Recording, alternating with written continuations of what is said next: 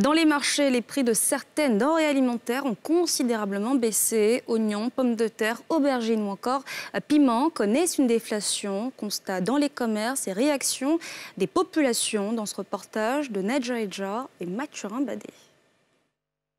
On produit de l'oignon au niveau du Burkina. Dans le mois de, de janvier, le sac était à 45 000. Aujourd'hui, il est passé à 35 000.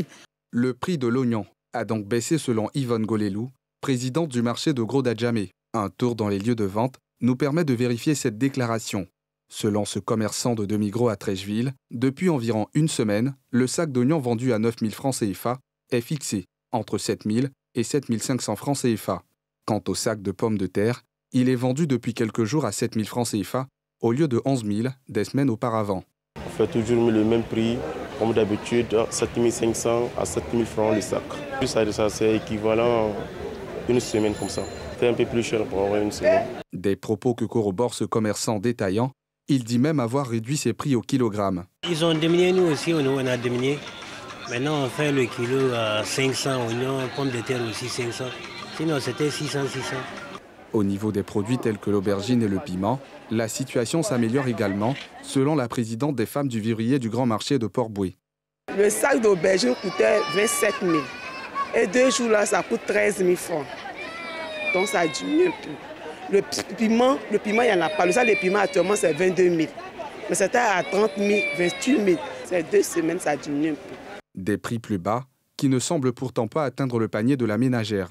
Tout est même chose. C'est même chose. Rien n'a baissé. 300, c'est cher. C'est 3. 1 à 100 francs.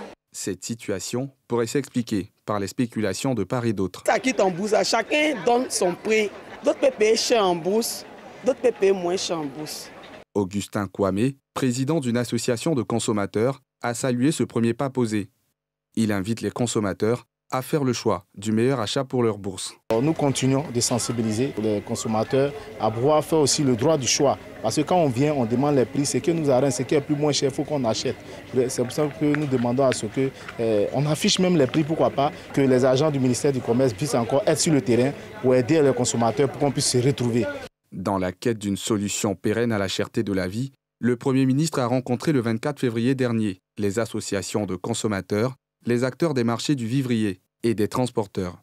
Les suggestions seront transmises à l'autorité suprême pour adresser la problématique.